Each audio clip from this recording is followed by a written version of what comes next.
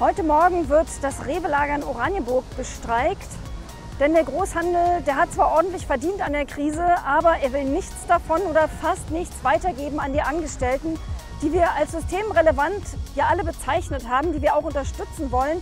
Aber Geld sollen sie nicht mehr kriegen. Das verstehen wir nicht. Deswegen ist die Linke hier in Oranienburg vor Ort und unterstützt die Streikenden.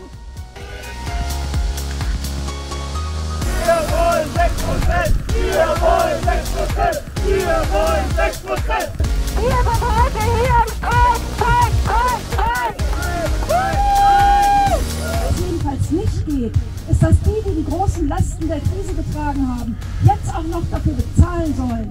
Das lassen wir uns nicht gefallen. Da könnt ihr uns Link an eurer Seite wissen. Wir werden mit euch kämpfen im Bundestag, auf der Straße und wo immer ihr es brauchen könnt. Macht weiter so und danke.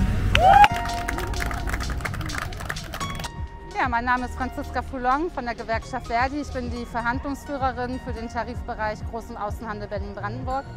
Die Beschäftigten und Verdi-Mitglieder fordern 6% mehr Lohn und Gehalt und Ausbildungsvergütung, einen Mindesttarif von 12,50 Euro die Stunde, eine Laufzeit von 12 Monaten und die Allgemeinverbindlichkeitserklärung unserer Tarifverträge in der Fläche.